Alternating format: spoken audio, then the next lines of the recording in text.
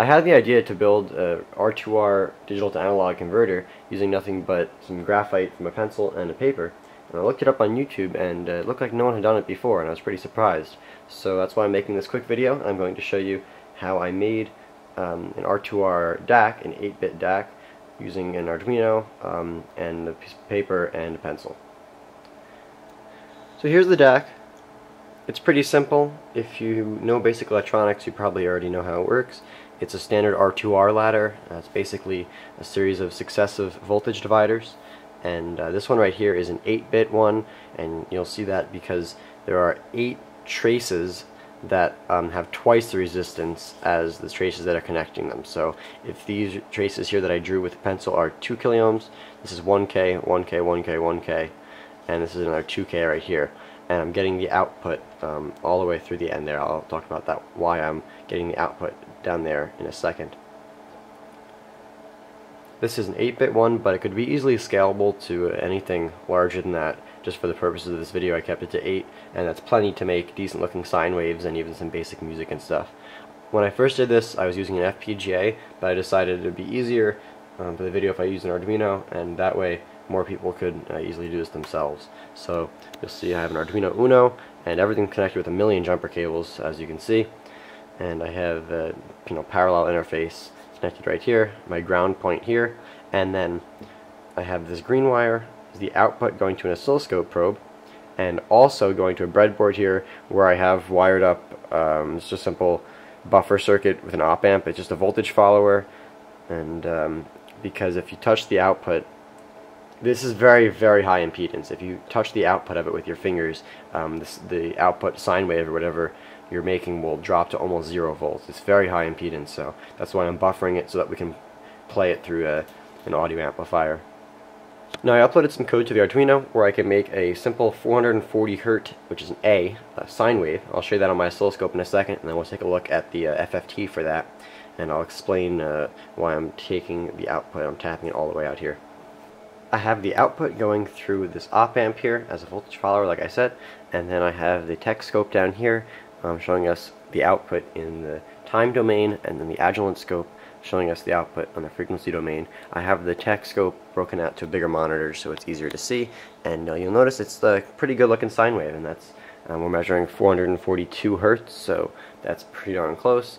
It's 1.6 volts RMS which is I think like 2, 2 and a quarter volts um, peak to peak and uh, it's looking pretty good, you know. It's a pretty smooth waveform, and if we take a look at the FFT, so now we're looking in the frequency domain, you know, that's our fundamental frequency, and it's at 434, 440 hertz, as we'd expect. We have some harmonics that are moving all over the place. I'm going to capture that just so we can look at it still. Next harmonic, we'd uh, expect this to be around 800 and a little, little over 850, yep, uh, 890 hertz. Next one here I'd expect at 13, 1.3 kilohertz, yeah, 1.327. So it's pretty good, and I can even put this on my distortion analyzer later and look at the total harmonic distortion. But it's just a fun little project, you know, drawing a DAC with paper.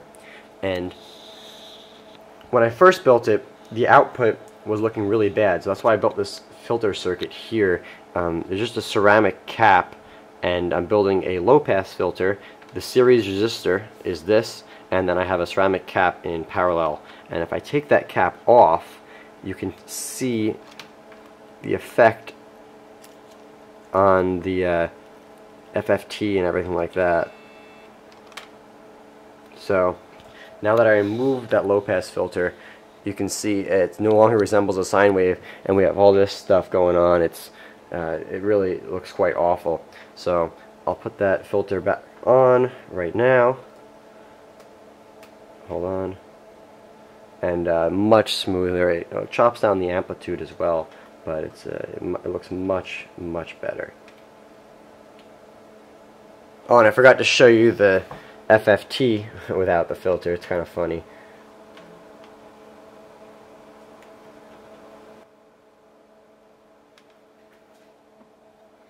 Yeah, so you'll notice the second, third, and fourth harmonics, I mean, everything's just massive. So again, fundamental frequency, and then after that, the peaks of the harmonics are almost, you know, they're not diminishing as much as they were before. So it's a pretty awful waveform. It's pretty ugly.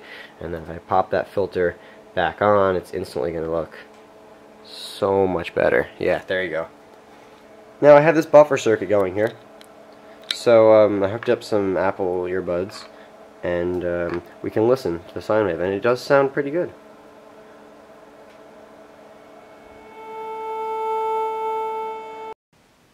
The idea of direct digital synthesis is pretty powerful and you can make some pretty complicated waveforms such as these.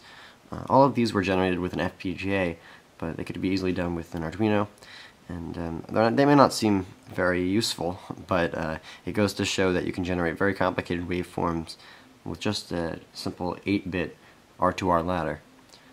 So I hope you learned something and thanks for watching.